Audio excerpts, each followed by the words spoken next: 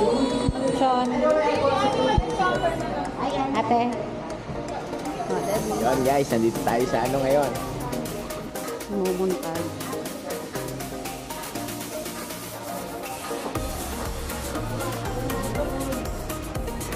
Orientation, para malaman nyo gano'n ba kalaki yung lalakarin ninyo, Okay. gano'n katagal, gano'n kadaming makikita.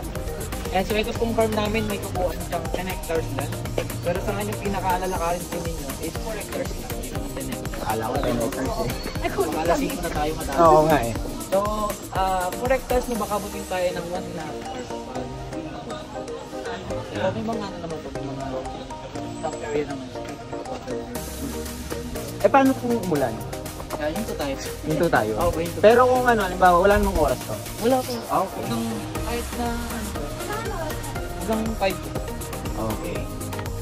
So, meron po kaming three major attractions with steam, PU, hydroponics. Kaso nga lang hydroponics namin wala akong makikita. Hindi rin tayo papakasok doon. Kasi tag-init ngayon, mahirap sa patubo. Ah, okay. And pangatlo po yung ating petting sa domestic animals. Mm And since kayo po ay mayroong animal encounter, lahat kayo ay magpapakain o mag-activity ng animal. Uy, lahat daw magpapakain. First station natin, ito tayo.